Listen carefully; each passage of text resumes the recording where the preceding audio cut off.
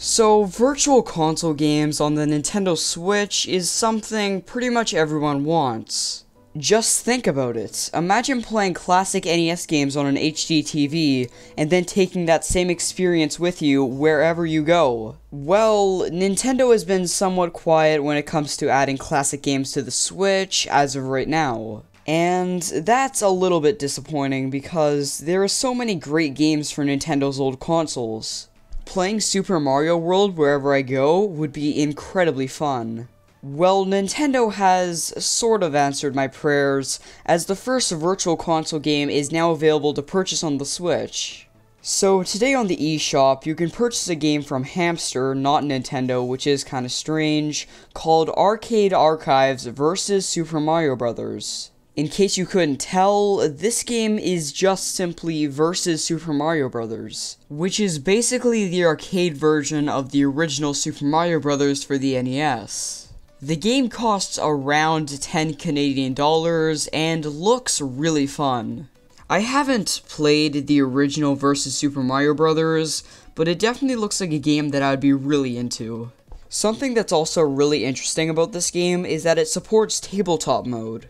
So, in theory, you could hand one Joy-Con to another person and play the game together. Versus Super Mario Bros. also has other features. For example, you could adjust the game's difficulty, compete for a high score on a worldwide leaderboard, and you can use some design features to make it really feel like you're back in the 80s. So as of right now, I'm liking this game. It looks really addictive and fun, and its price tag isn't too high. However, there is some things that I am kind of confused about.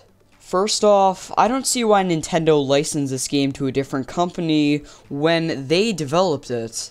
What I mean by that is this game is published by a company known as Hamster, not Nintendo. Nintendo originally developed this game back in 1986, so I just don't get why Hamster is publishing it and not Nintendo.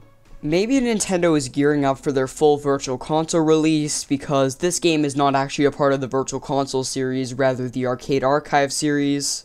But maybe they just want to release all of their Virtual Console titles at the same time? I don't know, I am slightly confused, but even so, I still want to look into this game. Again, it looks really, really fun to play. I know I'm repeating myself a lot, but that's because there isn't much else to say about it. It looks like a game I'd enjoy. But what do you think of this game? Let me know in the comments and I'll try to reply back to you. If you did enjoy this video, then I would appreciate it if you shared it on social media, but that's always up to you. I'll have my social medias linked in the description, and see you.